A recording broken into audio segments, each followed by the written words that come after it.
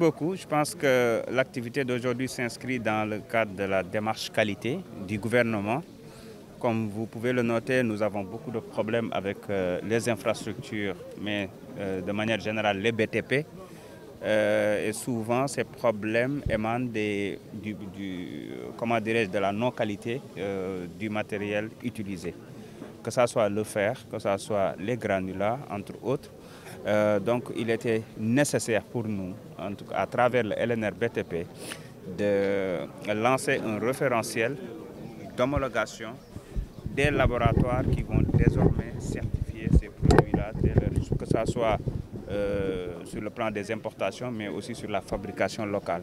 Et à partir de ce moment, euh, nous ne tolérerons plus, en tout cas, de l'importation des produits qui ne remplissent pas les critères de qualité, euh, la longueur, les diamètres, entre autres.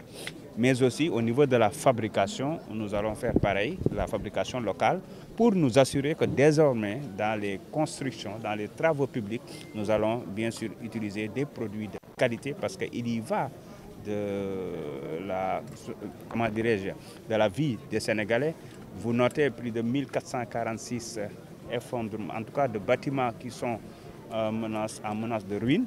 Et rien qu'à Dakar, nous pouvons noter 627 bâtiments ou édifices publics qui aujourd'hui menacent ruine. Donc euh, nous ne pouvons pas continuer à observer cela. Il faut anticiper. On a beaucoup de projets et de programmes en cours ou bien à venir, comme euh, les 300 000 logements, entre autres.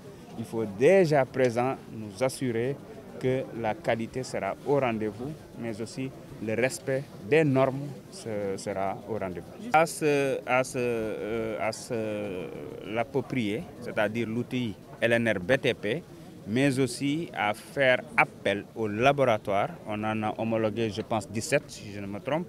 Et la remise des certificats euh, se fera très bientôt, après la signature, bien sûr, euh, du document référentiel. Et nous invitons tous les acteurs qui sont déjà là, présents dans la salle, en tout cas, à s'orienter vers cette démarche qualité-là en allant voir les laboratoires ou tout simplement le LNRBTP pour être sûr qu'ils seront en droite ligne avec euh, l'objectif et la vision de l'État sur ce domaine des bâtiments et travaux publics. Euh, l'objectif, c'est d'utiliser le maximum possible le, le, matériel local parce que nous, nous sommes pour une industrialisation de notre pays, euh, pour avoir une maîtrise globale de la qualité, mais des coûts, donc disons du, des prix, mais aussi pour la création d'emplois et de la valeur ajoutée, parce que c'est une chaîne de valeur.